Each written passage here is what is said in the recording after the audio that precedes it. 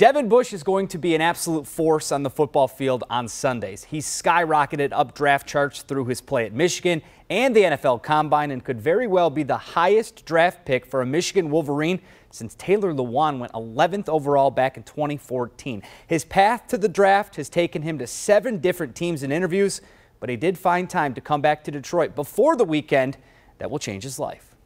Devin Bush is a one of a kind linebacker. He's got electric speed, a nose for the football, and a come at me attitude that will suit him well on the football fields on Sundays. He wowed executives at the NFL Combine with his efforts, and as his journey to this point comes to a close, can't wait for the next opportunity to begin.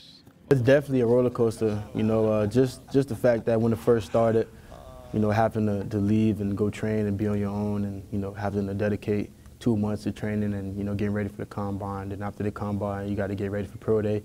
After pro day, you got to get ready for these team visits.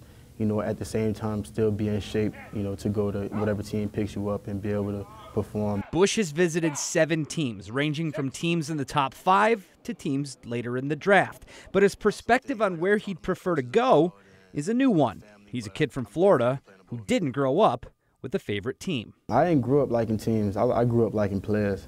So I like to watch players instead of teams.